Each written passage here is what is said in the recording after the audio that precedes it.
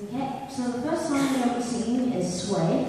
And this song was created, or first sang about, well, quite a long, long time ago. Somewhere just before the 1950s, maybe 1920s, I'm not really sure anymore. Um, and then as we, uh, Michael Bublé did it, and now it's getting famous again because Michael Bublé sings a lot of songs. It's really good.